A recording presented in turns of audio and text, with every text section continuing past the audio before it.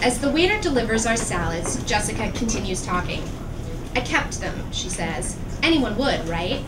She doesn't wait for me to answer, which is a good thing, because I'm not sure what I would say.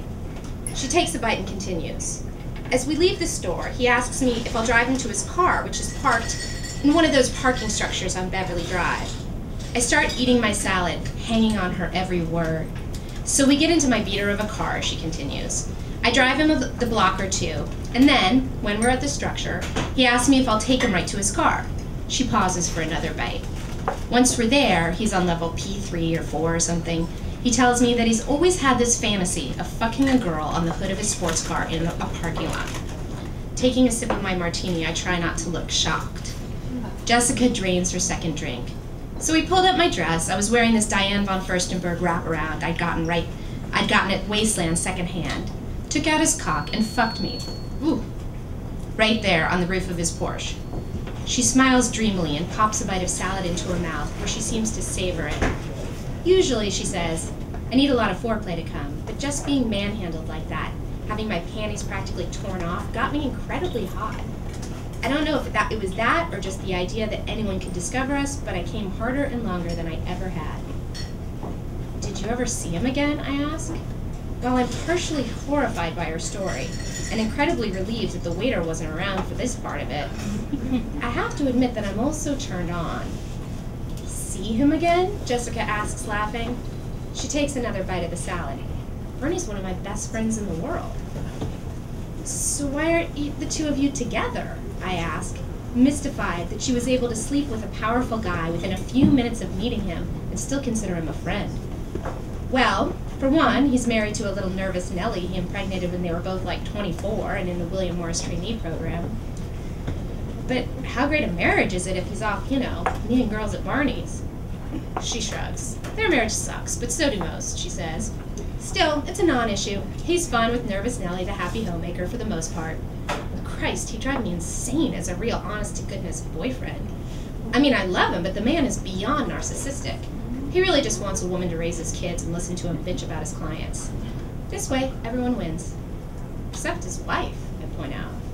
Trust me, wifey wins, Jessica says. She loves the house in the hills, not to mention the one at Carbon Beach. She's on charity committees with all the other Hollywood wives, trying to save the environment with Bernie's money. And let's not forget that she's probably sick to death of her husband's cock. I smile uncomfortably. If I'm going to be around Jessica, I'm clearly going to have to stop flinching every time she says the word cock. I mean, who the hell wants to get laid by the same man for 20 years? Jessica adds, shivering. I wonder if Claire and all our other friends from high school who got married at the first possible second will be sick of sleeping with their husbands after 20 years. Or if perhaps they already are. Then again, Claire seems to expend so much mental energy convincing herself that Eric is wonderful. She probably wholeheartedly believes she's never going to want another guy again. Can she keep a self-delusion like that going for the rest of her life? While it's impossible to imagine either of them cheating, Eric's passion seems to be limited to his golf games, and Claire just doesn't have it in her. It's almost as difficult to conceive of them having sex with each other. Theirs just seems to be like a partnership, the coming together of two entities to share a bed, plasma screen TV, and last name, with their baser impulses, if they had any, rendered almost irrelevant. From the beginning, Jessica continues, Bernie was clear with me that he couldn't give me anything, you know, real. Right after the whole car hood thing, he told me he was married with kids, as if that wasn't completely obvious before he opened his mouth. but I like you, he said. I want to see you again. The waiter delivers our steaks, and Jessica immediately cuts into hers.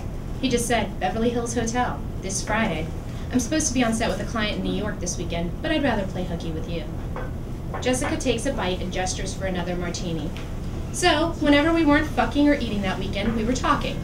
I told him about my situation, the bastard I'd moved to LA for, the debt, the rent I couldn't pay.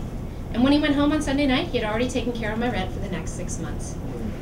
As she puts a sliver of meat in her mouth, I try to imagine what it might be like to have rent concerns for the next half a year evaporate in an instant.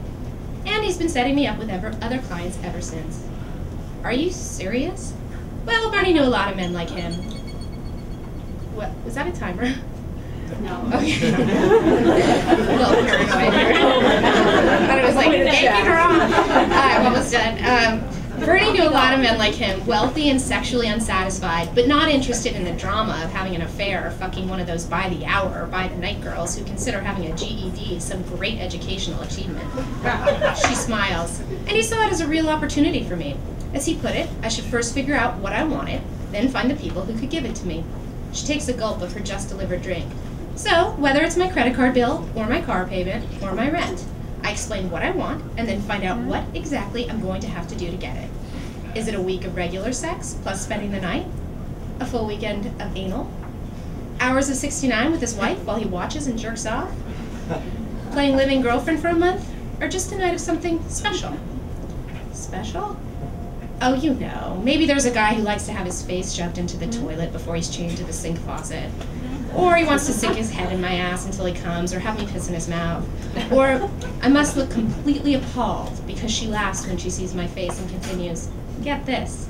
I have a guy with a perfectly normal sized penis who likes to have me tease him by calling his cock small. Literally mock its size. Yeah. And then bring in a big black guy for me to blow in front of him.